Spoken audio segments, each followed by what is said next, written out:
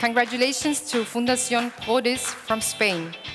Fundación Prodis is a Spanish foundation committed to supporting persons with intellectual disabilities with a special focus on children and young people. In 2014, Fundación Prodis de developed Kolumba, an open source software that makes a personal Gmail account more accessible to persons with intellectual disabilities. The development was part of the European Able to Include grant program of the European Commission.